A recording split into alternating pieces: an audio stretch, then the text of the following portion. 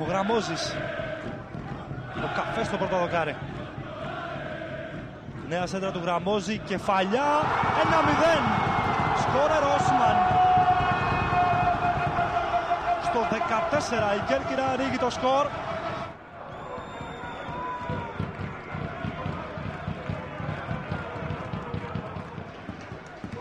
Καβακάς είπε και μέσα στην εβδομάδα ότι η ομάδα του θα παλέψει εξαντλώντας όλες τις πιθανότητες. Η κεφαλιά για το 1-1. Άμεση απάντηση της ΑΕΚ με τον Κλωναρίδη. Στο 16.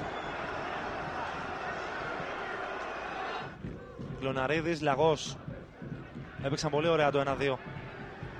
Ο Μαϊστόροβιτς πάει να καλύψει, ο Κλωναρίδης γυρίζει, επέμβαση του Γκαλίνοβιτς, ο Λιμπερόπουλος 1-2 Γκολ για την ΑΕΚ με τον Νίκο Λιμπερόπουλο να σκοράρει για 7η φορά στο πρωτάθλημα και για δεύτερη συνεχόμενη αγωνιστική.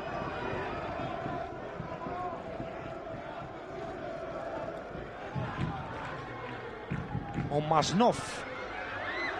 Το σουτ 2-2. Η σοφάρεση με τον Τζίγκα στις καθυστερήσεις. Το τέταρτο λεπτό των καθυστερήσεων η Κέρκυρα φέρνει το μάτς στα ίσια. Θανάσης Τσίγκας Είχε σκοράρει πέρσι το πρώτο από τα δύο γκολ στην νίκη της Κέρκυρας επί της ΑΕΚ με 2-1. Σκοράρει και φέτος το πρώτο του γκολ με φέτος στο πρωτάθλημα.